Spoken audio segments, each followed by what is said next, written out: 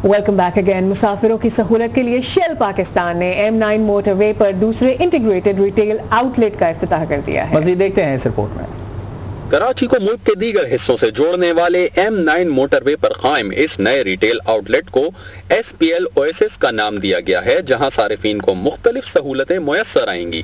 Shell retail outlet पर गाड़ियों में फ्यूल भरवाने के अलावा के इलेक्ट्रिक के ताउन से कायम शेल रिचार्ज से अपनी इलेक्ट्रिक व्हीकल भी चार्ज की जा सकती हैं।